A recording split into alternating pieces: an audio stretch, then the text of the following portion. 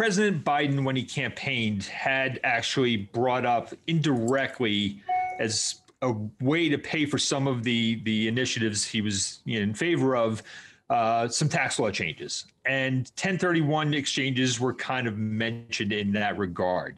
Uh, it's kind of something that was viewed as only benefiting the wealthy, you know, and he had basically pledged that he would not raise taxes on the middle class, but that would raise taxes on, you know, uh, I think the top you know, 1% or the top 0.01% or something like that.